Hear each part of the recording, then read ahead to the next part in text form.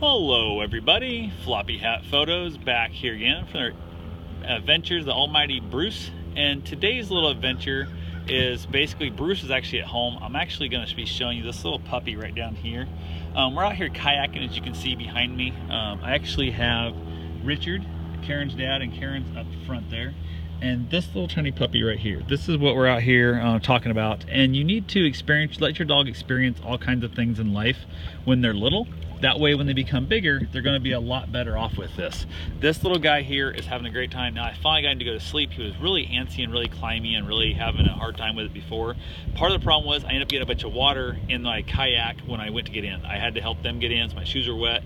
I forgot my sponge at home so i couldn't suck the water out. So he couldn't play on the floor like he should have.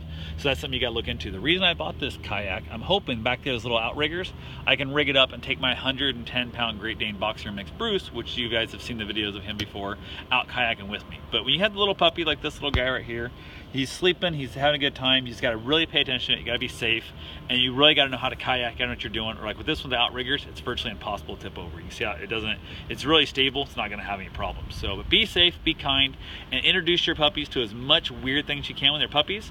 They're gonna be a much better dog in the long run. So be safe, be kind, get out there, adopt, find yourself a great dog at the shelter. Please don't purchase a new one. So take care, and I'll talk to you soon. Have yourself a safe, and wonderful day. Thanks for watching.